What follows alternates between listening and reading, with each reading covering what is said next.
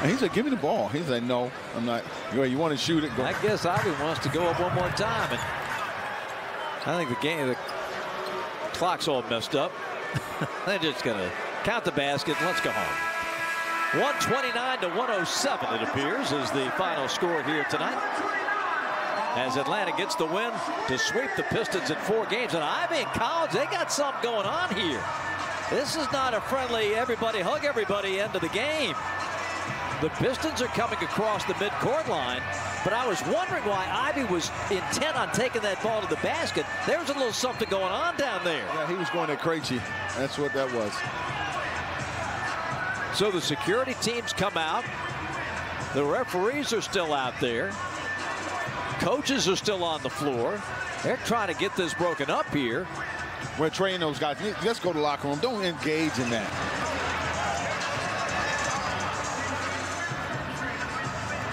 I mean, why? This is senseless. You you blew them out about 30 plus. Cooler heads seem to be prevailing now.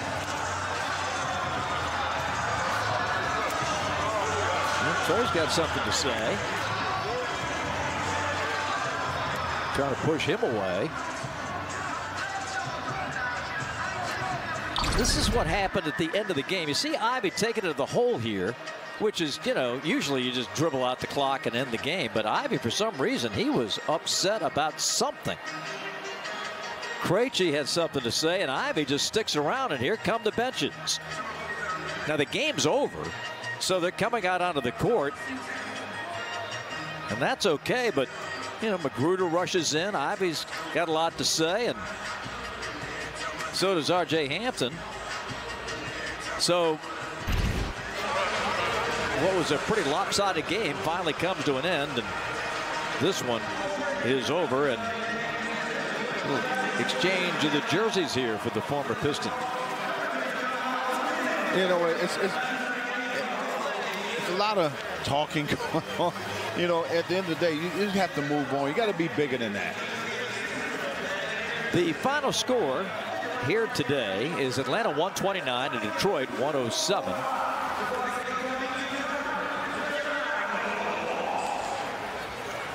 So we're waiting for Saddiq to come by, and here he is right now with Lauren.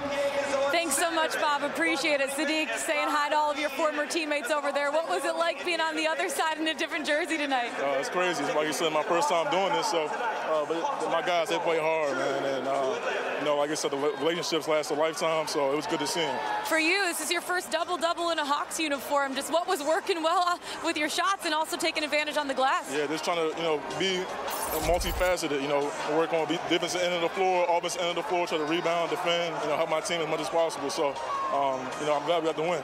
I know Quin Snyder was preaching yesterday and this morning, just keep your foot on the gas the entire game, four quarters. What did you think about your team's performance, especially in that third quarter, holding them to only 19? Yeah, it was great, man. We started off, we started to finish. You know, we played hard, and, uh, you know, it was good to, you know, do it for four quarters, man. It was great.